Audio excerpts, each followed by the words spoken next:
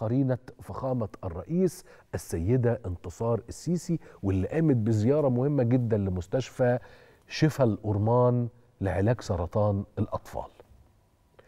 قرينة الرئيس تفقدت الأقسام المختلفة للمستشفى وقالت السيدة انتصار السيسي عبر حسابها على فيسبوك تحديدا سعدت اليوم بزيارة مستشفى شفاء الأورمان لعلاج سرطان الأطفال وأود أن أشيد بالجهود العظيمة التي شهد التي شهدتها خلال تفقد الأقسام المختلفة في هذا الصرح العالمي على أرض مصر والذي يقدم أفضل رعاية لأطفالنا على أعلى مستوى ممكن. تحية فخر وتقدير لكل القائمين على هذا المستشفى لدورهم المؤثر والإنساني. في تخفيف الألم عن أبنائنا.